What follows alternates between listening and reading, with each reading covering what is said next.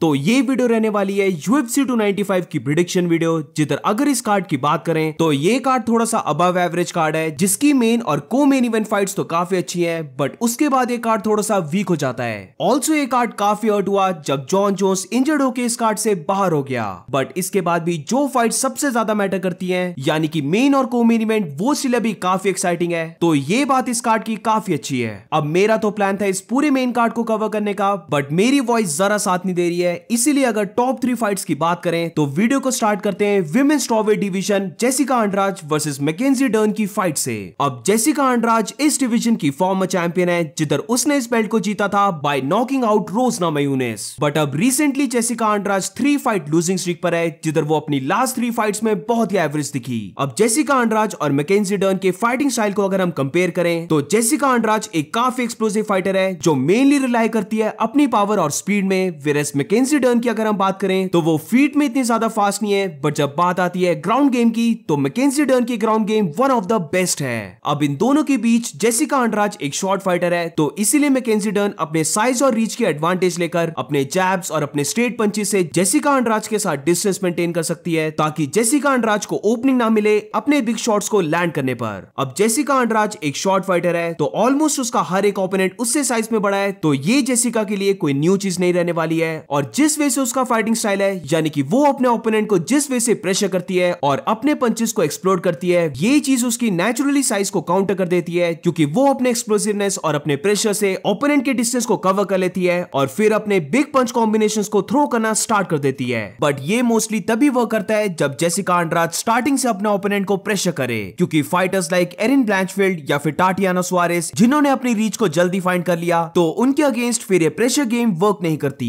अब दूसरी तरफ़ अगर मैकेजी डर्न की बात करें तो मैकेजी डर्न की स्टार्टिंग में प्रॉब्लम रहती थी कि उसकी स्ट्राइकिंग काफ़ी वीक है बट अब रिसेंट फाइट्स में हम देख सकते हैं कि उसने अपनी स्ट्राइकिंग को बहुत ज़्यादा इंप्रूव किया है। उसका क्लिंच वर्क इंप्रूव हुआ है और जिस वजह से वो अपने ओपोनेंट को टेक डाउन करती है, वो चीज़ भी काफ़ी इंप्रूव हुई है। और इसीलिए अगर मैकेजी डर्न जेसिका अंडराज को ग्राउंड में लेके जाती है तो बहुत ज़्यादा चांसेस हैं कि वो जेसिका अंडराज को सबमिट कर दे। और दूसरी तरफ़ जेसिका अंडराज के पास एडवांटेज है कि वो फीट में मैकेजी डर्न को ट्राई करे नॉकआउट करने की। जेसिका अंडराज के पास पावर तो है बट मैकेजी डर्न एक सॉलिड फाइटर है जो अभी तक फिनिश नहीं हो पाई है और इस फाइट में एक और चीज़ जो जेसिका अंडराज को फेवर नहीं करती, वो है उसका टेक डाउन डिफेंस अगर जेसिका अंडराज ने इस फाइट में अपने टेक डाउन डिफेंस को इंप्रूव नहीं किया तो मैकेजी डर्न उसे ग्राउंड में लेके जाने वाली है और फिर जेसिका के लिए बहुत ज़्यादा ट्रबल है. तो इसीलिए इस फाइट में मेरी पिक है Mackenzie Dern to win this fight और मुझे लगता है मैकेजी डर्न जेसिका अंडराज को सबमिट कर देगी. बट इसी के साथ फ़र्स्ट राउंड में मैकेजी डर्न को केयरफुल रहने की ज़रूरत है, क्योंकि अगर उसने जेसिका अंडराज को काफ़ी ज़्यादा अपॉर्चुनिटीज़ दे दी पंचिस को थ्रो करने की, जिधर वो फिर अपने बिग पंच कॉम्बिनेशन को थ्रो करना स्टार्ट कर देगी। तो इसीलिए अगर ये फाइट फ़र्स्ट राउंड के आगे चले जाती है तो आई डू थिंक कि इस फाइट को जीत जाएगी। और अब बात करते हैं यूएफसी 295 की को मेन इवेंट फाइट के बारे में, जो होने वाली है for the interim heavyweight championship belt जिधर सरगे पावलोविच फाइट करने वाला है टॉम एस्पिनल के साथ। ये काफ़ी एक्साइटिंग फाइट है and to be honest on paper अगर इस फाइट को देखें तो ये फाइट बहुत ज़्यादा क्लोज फाइट है, जिधर दोनों के पास नॉकआउट पावर है बट क्लियरली सरगे पावलोविच के पास ज़्यादा पावर है। और यही बात अगर हम मूवमेंट की करें तो टॉम एस्पिनल काफ़ी ज़्यादा फास्ट है सरगे पावलोविच से। आई थिंक टॉम एस्पिनल इस पूरी हैवीवेट डिवीज़न में सबसे ज़्यादा फास्ट है। जिधर जेल्टन अल्मेडा और सीरल गान भी काफ़ी क्लोज है बट आई थिंक उनसे भी ज़्यादा फास्ट टॉम एस्पिनल है। टॉम एस्पिनल ने जितनी भी फाइट्स को जीता है, वो सारी फाइट्स वो फिनिश के साथ जीता है। वेरे सरगे पावलोविच की बात करें तो सर्गे पावलोविच ऑलमोस्ट अपनी हर एक फाइट को जीता है फिनिश के साथ। जिधर सारी फाइट्स जो उसने फिनिश की हैं, वो सारी फ़र्स्ट राउंड में आई हैं। इस फाइट में सरगे पावलोविच के पास सिक्स इंच की रीच एडवांटेज है, जो एक काफ़ी बड़ी एडवांटेज है, जिसका मतलब ये है कि अगर टॉम एस्पिनर डिसाइड करता है कि वो सरगे पावलोविच को अटैक करेगा तो फिर उसको वो अटैक ज़्यादा जल्दी करना होगा, क्योंकि off the break Sergei Pavlovich उसे राइट हैंड से कैच कर सकता है। क्योंकि ऑफ़ द ब्रेक यानी कि पंचेस थ्रो करने के बाद जब टॉम एस्पिनल वापस आने लगेगा तो सरगे पावलोविच अपने पंच को एक्सटेंड करके उसके पास ऑलरेडी सिक्स इंच की रीच एडवांटेज है, वो टॉम एस्पिनल को कैच कर सकता है। और ये चीज़ टॉम एस्पिनल की कंसर्निंग है, क्योंकि जब टॉम एस्पिनल अपने ओपोनेंट से डिसएंगेज करके बैक स्टेप लेता है तो कभी कभार उसके हैंड्स नीचे होते हैं, या फिर उसका गार्ड काफ़ी ओपन होता है, जिसकी वजह से जैसे मैंने पहले कहा कि सरगे पावलोविच अपने एक्सटेंडेड पंच से टॉम एस्पिनल को कैच कर सकता है। अगर सरगे पावलोविच ने टॉम एस्पिनल पर क्लीन शॉट लैंड कर दिया तो आई थिंक टॉम एस्पिनल इस फाइट में नॉकआउट हो जाएगा। मोस्टली सरगे पावलोविच अपने हुक्स को थ्रो करता है बट इसी के साथ सरगे पावलोविच अपर को भी थ्रो करता है, जो एक टाइप के एक्सटेंडेड माइंडेड अपर होते हैं तो अगर सरगे पावलोविच ने कोई ऐसे ही पंच को थ्रो किया तो टॉम एस्पिनल के पास ज़्यादा टाइम नहीं होगा उन पंचेस को ब्लॉक करने का। बट इसी के साथ अगर टॉम एस्पिनल की स्ट्रेंथ की बात करें तो टॉम एस्पिनल अपनी फीट में इतना ज़्यादा फास्ट है कि उसके ओपोनेंट को काउंटर करने का टाइम नहीं मिलता और जब तक उसके ओपोनेंट रिएक्ट करते हैं, वो ऑलरेडी डिस्टेंस को क्लोज कर चुका होता है। और ये चीज़ हमने उसकी फाइट्स में देखा है कि वो मोस्टली अपने ओपोनेंट्स को ऐसे ही हर्ट करता है और फिर उसके बाद नॉकआउट करता है। इसी के साथ टॉम एस्पिनल के पास ज़्यादा वेपन्स हैं, जिधर वो सरगे पावलोविच से ज़्यादा अजाइल है और इसी की वजह से वो हैवी वेट डिवीज़न में होने के बाद भी काफ़ी फास्ट बॉडी किक्स और इवन हेड किक्स को भी थ्रो कर देता है। एक और स्ट्रॉन्ग पॉइंट जो इस फाइट में बहुत ज़्यादा इंपॉर्टेंट होगा, वो है टॉम एस्पिनल की रेसलिंग एबिलिटी अब क्योंकि टॉम एस्पिनल अपनी फीट में काफ़ी फास्ट है तो इसीलिए जब वो टेक डाउन करने के लिए लेवल को चेंज करता है तो उसके ओपोनेंट इतनी जल्दी रिएक्ट नहीं कर पाते हैं और इसीलिए टॉम एस्पिनल अपने ओपोनेंट्स को सिंगल लेग या फिर डबल लेग से टेक डाउन कर लेता है। और यही सेम करने में अगर वो सक्सेसफुल होता है सरगे पावलोविच के अगेंस्ट तो फिर सरगे पावलोविच को बहुत ज़्यादा प्रॉब्लम होगी। जिधर उसके लिए वापस फीट में खड़ा होना बिना अपनी नेक को एक्सपोज किए हुए काफ़ी मुश्किल होगा। और अगर वो ज़्यादा टाइम तक ग्राउंड में रहता है तो फिर वो ज़्यादा टायर्ड होगा, जिसकी वजह से उसकी नॉकआउट एबिलिटी भी डिक्रीज हो जाएगी। But I think Sergei Pavlovich ये चीज़ ऑलरेडी जानता होगा कि टॉम एस्पिनल उसके साथ रेसलिंग कर सकता है। और अगर हम सरगे पावलोविच की कर्टिस ब्लेड्स की फाइट को देखें तो कर्टिस ब्लेड्स भी एक काफ़ी अच्छा रेसलर है। बट उस फाइट में कर्टिस ब्लेड्स एक बार भी सरगे पावलोविच को ग्राउंड में लेके नहीं जा पाया। उस फाइट में सरगे पावलोविच काफ़ी वाइट स्टैंड रखकर फाइट कर रहा था, क्योंकि वो जानता था कि कर्टिस ब्लेड्स उस पर टेक डाउन को अटेम्प्ट कर सकता है, और इसीलिए उसने ये वाइट स्टैंड को लिया था, और इसी के साथ ये वाइट स्टैंड उसे बहुत ज़्यादा हेल्प कर रहा था कर्टिस ब्लेड्स के ऊपर बिग अपर कट्स को लैंड करने में। और इसीलिए टॉम एस्पिनल को बहुत ज़्यादा केयरफुल रहने की ज़रूरत है, क्योंकि अगर सरगे पावलोविच अपर कट को टाइम कर तो सरगे पावलोविच के पास इतनी ज़्यादा पावर है कि मुझे नहीं लगता कि टॉम एस्पिनल उस पंच को सरवाइव कर पाएगा। तीन फाइट्स जहाँ पर सरगे पावलोविच अपने ओपोनेंट्स को फ़र्स्ट राउंड में फिनिश नहीं कर पाया था। उन फाइट्स में हम देख सकते हैं कि सरगे पावलोविच की नॉकआउट पावर डिक्रीज हो गई थी, जिसकी वजह से वो उन फाइट्स को जीता बाय डिसीज़न मोस्टली जो सरगे पावलोविच पंचेस को थ्रो करता है, वो लूपिंग ओवरहैंड पंचेस या फिर हुक्स होते हैं तो ये ज़्यादा चांस दे देता है टॉम एस्पिनल को ये पंचेस को डिफेंड करने में, क्योंकि टॉम एस्पिनल का रिएक्शन टाइम ज़्यादा फास्ट है तो वो मोस्टली इन पंचेस को आता हुआ देख सकता है और वो सरगे पावलोविच की रेंज से बाहर निकल सकता है। तो टॉम एस्पिनल अपनी फाइट्स में ज़्यादा स्ट्रेट पंचेस जिधर वो वन टू जैब और राइट स्ट्रेट पंच को थ्रो करता है। बट यही चीज़ अगर हम सरगे की देखें तो सरगे पावलोविच का जैब ज़्यादा स्ट्रॉन्ग है, जिधर उसने कर्टिस ब्लेड्स को इसी जैब से रॉक कर दिया था। बट जब राइट पंच की बात आती है तो मोस्टली उसके जो राइट पंचेस होते हैं, वो ज़्यादा हुक्स और ओवरहैंड होते हैं, ना कि स्ट्रेट होते हैं। तो इसलिए आई थिंक अगर first round Tom Aspinall survive कर लेता है तो उसके लिए बाकी फोर राउंड जीतना ज़्यादा पॉसिबल होगा as compare to Sergei Pavlovich वो लेटर राउंड्स में सरगे पावलोविच को ग्राउंड में लेके जा सकता है, क्योंकि आई एम प्रीटी श्योर कि सरगे पावलोविच जल्दी टायर्ड होगा as compare to Tom Aspinall और टॉम एस्पिनल इसका फ़ायदा उठा सकता है क्योंकि लेटर राउंड्स में सरगे पावलोविच के लिए डाउन को डिफेंड करना बहुत मुश्किल होगा।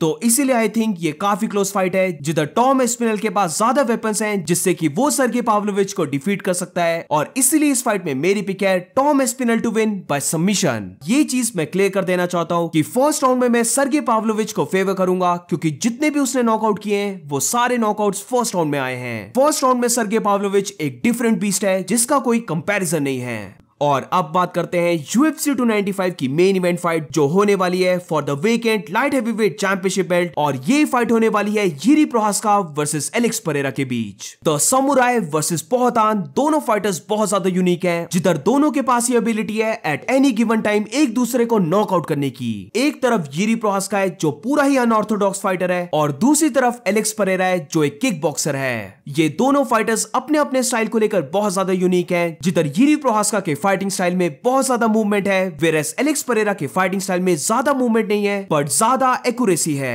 जीरी प्रोहास का जब फाइट करता है तो मोस्ट ऑफ़ द टाइम उसका गार्ड मिसिंग होता है, जिधर उसके दोनों हाथ काफ़ी नीचे होते हैं, और यही चीज़ उसकी स्ट्रेंथ और उसकी वीकनेस दोनों है। हैंड्स को डाउन करने से जो जीरी प्रोहास्को को एडवांटेज मिलती है, वो एडवांटेज ये है कि जब भी जीरी प्रोहास्का अपने पंचेस को थ्रो करता है तो वो एक डाउन एंगल से आते हैं, जिसकी वजह से फाइटर्स के पास रिएक्शन टाइम कम हो जाता है। अगर तुम्हें इस चीज़ का ज़्यादा आइडिया लेना है तो इस चीज़ को हम कंपेयर कर सकते हैं वंडर बॉय थॉमसन के स्टाइल से, जिधर वंडर बॉय थॉमसन का स्टाइल ज़्यादा कराटे स्टाइल है बट उसके हाथ भी नीचे रहते हैं। ये यीरी प्रोहास्का के लिए बहुत ज़्यादा ऑकवर्ड एंगल्स को क्रिएट करता है, और इसी की हेल्प से यीरी प्रोहास्का अपने काफ़ी ज़्यादा पंचेस को लैंड कर पाता है। एलेक्स परेरा जो भी पंचेस को थ्रो करता है, उनमें मोस्ट ऑफ़ द पंचेस काफ़ी प्रिसाइज होते हैं, उसकी लेग किक्स बहुत एक्यूरेट होती हैं, जो यीरी प्रोहास्का के इस ऑकवर्ड फाइटिंग स्टाइल जिधर वो काफ़ी ज़्यादा मूवमेंट करता है, वो मूवमेंट स्लो डाउन होगी, और अगर ये मूवमेंट स्लो डाउन हुई तो फिर एलेक्स परेरा के बिग पंचेस लैंड होना स्टार्ट हो जाएँगे। अगर जीरी प्रोहास्का को ये फाइट थोड़ी सी इजी बनानी है तो फिर उसको डेफिनेटली देखना होगा एलेक्स परेरा को ग्राउंड में लेके जाने का।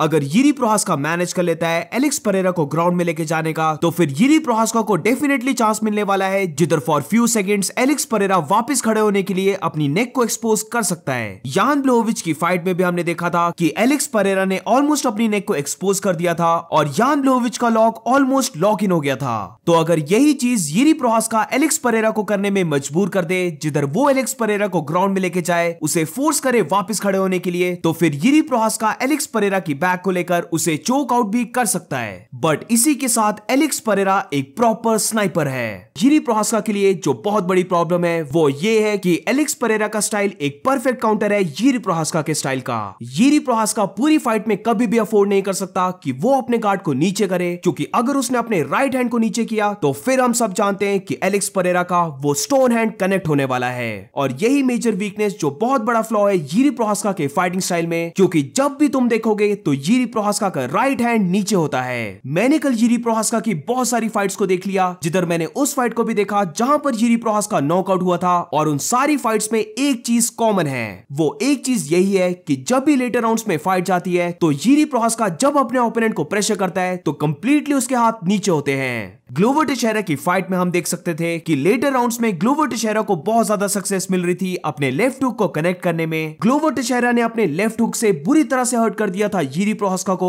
और ये चीज़ इसलिए हो पा रही थी क्योंकि लेटर राउंड्स में यीरी प्रोहास्का एग्जॉस्ट हो गया था, जिसकी वजह से उसका गार्ड कंप्लीटली ड्रॉप डाउन था। इवन डोमिनिक रेस जिसको यीरी प्रोहस्का ने नॉकआउट किया था, उधर भी डोमिनिक रेस को सक्सेस मिली थी अपने लेफ़्ट पंच को लैंड करने में। और अगर हम यीरी प्रोहस्का का नॉकआउट देखें तो इधर हम देख सकते हैं कि यीरी प्रोहास्का कंप्लीटली अपने हाथों को नीचे करके चला है। जिधर किंग मो जो उसका ओपोनेंट था, उसने एक बिग राइट स्ट्रेट पंच को कनेक्ट किया, जिसने यीरी प्रोहास्का को नॉकआउट कर दिया था। ये बहुत बड़ा फ्लॉ है यीरी प्रोहास्का के फाइटिंग स्टाइल में। बट यीरी प्रोहास्का अपने इस मिस्टेक को कम कर देता है अपनी मूवमेंट को यूज़ करके। यीरी प्रोहास्का अपनी मूवमेंट में बहुत ज़्यादा एक्टिव है, जिधर वो कंटिन्यूसली मूव करते रहता है। और ओपोनेंट को इससे मुश्किल होती है एक परफेक्ट टाइम के साथ पंच को लैंड करने में। एलेक्स परेरा ने अपनी लेग किक्स को थ्रो करना स्टार्ट कर दिया तो वो ऑटोमेटिकली यीरी प्रोहास्का की मूवमेंट को खत्म कर देगा, जिसके बाद यीरी प्रोहास्का एक स्टैंडिंग टारगेट होगा। अगर बाकी फाइटर्स यीरी प्रोहास्का को लेफ़्ट हुक से इतना ज़्यादा ट्रबल दे सकते हैं तो इमेजिन करो अगर एलेक्स परेरा अपने लेफ़्ट हुक को कनेक्ट कर देता है। अब इसी चीज़ को लेकर अगर एलेक्स परेरा की बात भी करें तो ये चिन को एक्सपोज करना एलेक्स परेरा का भी फ्लॉ है, और ये फ्लॉ हमने देखा था इसराइल अदसानिया के रीमैच फाइट में। अब ये गलती इतनी बड़ी तो नहीं है बट इसराइल अदसानिया ने ये चीज़ सबको दिखा दी है कि जब भी एलेक्स परेरा अपने ओपोनेंट को पुश करके केज साइड में लेके जाता है और अपने पंचेस को लेट गो करने लग पड़ता है तो फिर वो भी अपनी चिन को एक्सपोज कर देता है। इसराइल अदसानिया की फ़र्स्ट फाइट का फ़र्स्ट राउंड और इसके बाद रीमैच फाइट में भी हमने यही चीज़ देखी थी कि जब भी एलेक्स परेरा पंचेस को ज़्यादा थ्रो करने लग पड़ता है तो वो फिर अपनी चिन को एक्सपोज कर देता है और अगर ओपोनेंट उसे काउंटर कर दे तो एलेक्स परेरा काफ़ी ट्रबल में आ जाता है। इन दोनों फाइटर्स की अगर चिन को कंपेयर किया जाए तो I do think Alex Pereira की चिन ज़्यादा वीक है as compared to Jiri Prochazka का। आई थिंक यीरी प्रोहास का ज़्यादा बीटिंग ले सकता है एलेक्स परेरा के कंपैरिजन में बट क्वेश्चन ये है कि क्या वो एलेक्स परेरा की बीटिंग ले पाएगा? क्योंकि बेशक यीरी प्रोहास्का की चिन ज़्यादा स्ट्रॉन्ग है एलेक्स परेरा से बट इसी के साथ एलेक्स परेरा के पास ज़्यादा पावर है यीरी प्रोहास्का से। एलेक्स परेरा एक बहुत एक्यूरेट फाइटर है, जिसके सामने अगर यीरी प्रोहास्का ने अपनी चिन को एक्सपोज किया तो 100% एलेक्स परेरा अपने लेफ़्ट हुक या इवन हेड किक को भी थ्रो कर सकता है। हमें ये चीज़ नहीं भूलनी चाहिए कि एलेक्स परेरा एक किक बॉक्सर है तो ऑब्वियसली उसकी किक करने की एबिलिटी भी काफ़ी स्ट्रॉन्ग होगी। और टू बी ऑनेस्ट जैसे इस्लाम महाचेव ने एलेक्सेंडर वॉल्किनॉफ्स्की के अगेंस्ट किया, वैसा ही सेम हम इस फाइट में भी देख सकते हैं। तो ओवरऑल एक काफ़ी exciting fight but I don't think so Jiri Prochazka इस फाइट को जीत पाएगा बिना रेसलिंग को यूज़ किए। ऑफ़ कोर्स वो स्टार्टिंग में आउट ऑफ़ नोवेयर एक बिग पंच को लैंड करके एलेक्स परेरा को नॉकआउट कर सकता है बट अगर ये फाइट नॉर्मल वे से गई, जिधर यीरी प्रोहास्का प्रोहास्का ने एलेक्स परेरा के साथ स्ट्राइकिंग मैच किया तो आई थिंक एलेक्स परेरा इस फाइट को जीत जाएगा। तो इसीलिए इस फाइट में मेरी पिक है Alex Pereira to win by knockout अगर जिरी प्रोहास्का ने अपने लास्ट फाइट के कंपैरिजन में इस फाइट में अपने डिफेंसिव गेम को इंप्रूव नहीं किया होगा तो फिर एलेक्स परेरा अपने लेफ़्ट हुक को लैंड करने लग पड़ेगा और आई थिंक उसके बाद ये मैटर ऑफ़ टाइम होगा जिधर एक या फिर दो क्लीन लेफ़्ट हुक के बाद जिरी प्रोहास्का कंप्लीटली नॉकआउट भी हो सकता है। सो so, ये थी prediction video what you guys think about this और इसी के साथ तुम्हारी क्या पिक्स हैं let me know in the comments so that's it for today guys आज की फाइट वीडियो में बस इतना ही। अगर आपको वीडियो अच्छी लगी हो तो please make sure to like subscribe मिलते हैं नेक्स्ट वीडियो में।